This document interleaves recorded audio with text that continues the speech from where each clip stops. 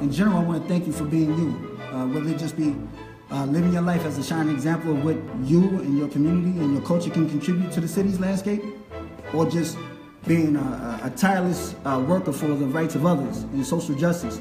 Oftentimes, I know it feels like a thankless job, and so let me take the opportunity to thank you. All right. So here, and before I jump into what I have to say about the Our City, Our Plan initiative, I kind of want to take the time to address the elephant in the room, the kind of storm outside is brewing. And by storm, I mean uh, Hurricane Trump. Um, it's a little unnerving what's going on right now. Things feel kind of uncertain up in the air. Uh, a little scary for those of us invested in freedom and love. Uh, for those of us who have aspirations and visions for the future. And so I ask you a question, it's a rhetorical question. Um, when you go to sleep at night, you, you turn on CNN or you maybe you scroll through social media and you see some of the crazy things that are being actually implemented, some things are being said. What, what's for certain? When you wake up and you say, like, I know for certain that this is going to happen or this isn't going to happen. I mean, are, are we safe? Uh, is it going to be in America uh, as we know it in four years? I, I don't know. You tell me. Uh, is, is the president a Russian spot?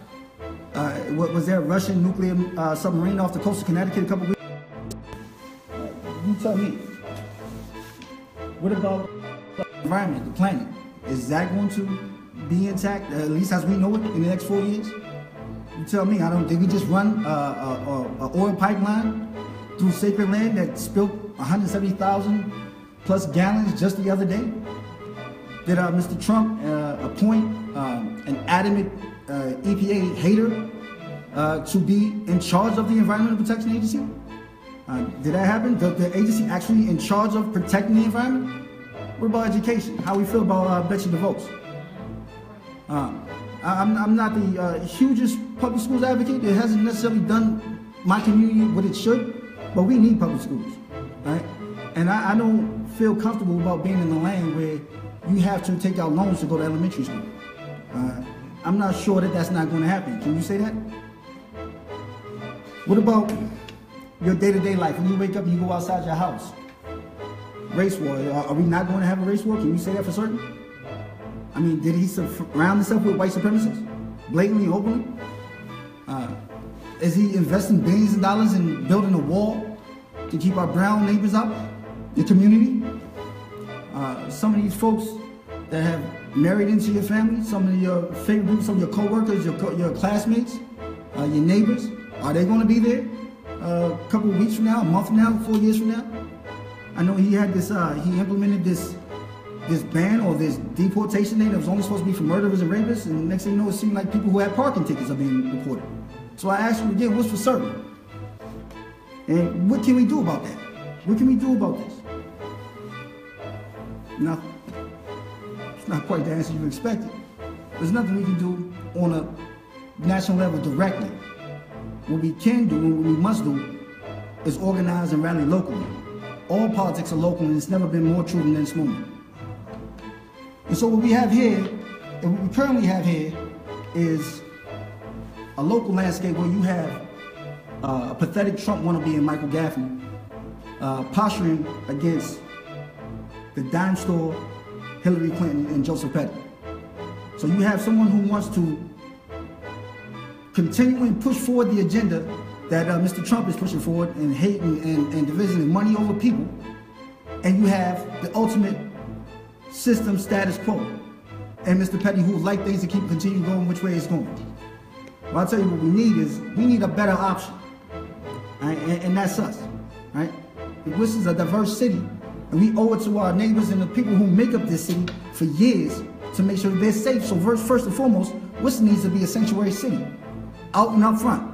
Official on the record, we need to be a sanctuary city. No gamesmanship, we need to be a sanctuary city. As a descendant of enslaved Africans, I understand the importance of having a point of safety in an unsafe land. In this city here, as Worcester uh, progresses and grows, we have a responsibility to make sure it grows and includes the Worcester residents.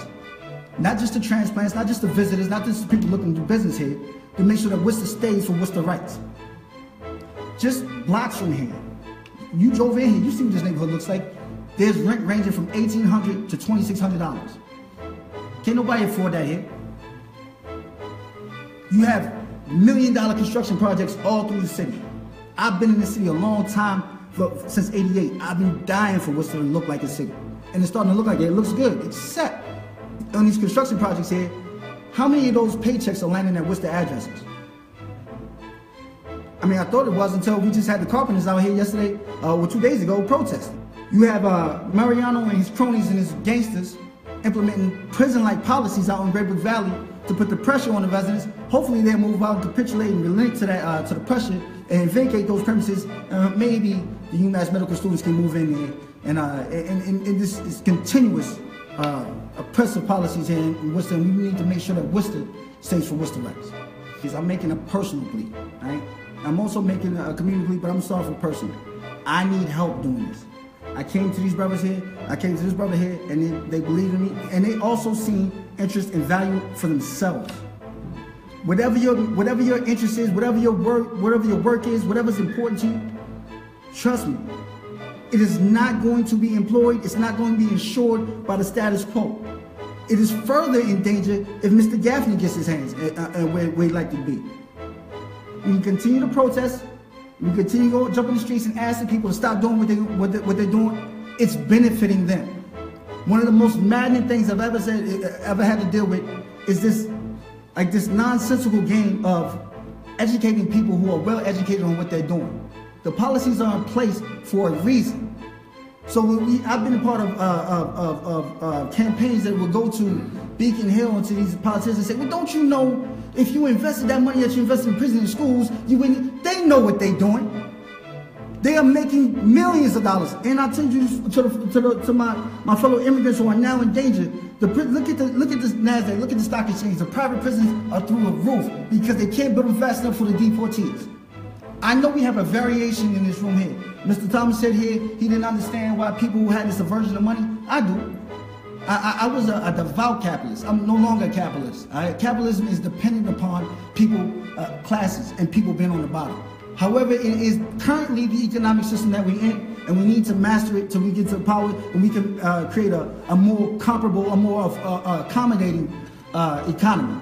Right? We need to. Uh, my enemy's enemy is my friend. We may not be all on the same page. I can guarantee we're not all on the same page. But we have more in common than we have in difference. But the one thing that I'm going to borrow from Bill Belichick is he has this motto that says, do your job. And keep that in mind when we go out in the community and organize. Don't think about the 17,000 that we need. Think about just when you wake up every day, you talk to the people that you convene with, that you, that you eat with, that you pray with, that you meditate with, that you that you play with, that you dance with. Hey, do me a favor, register, man. Or, or miss, this is what we're talking about. This is what we're doing. Take this on for you. Take this on for, for the person that you care about that can't do something. All right? Let's get to it.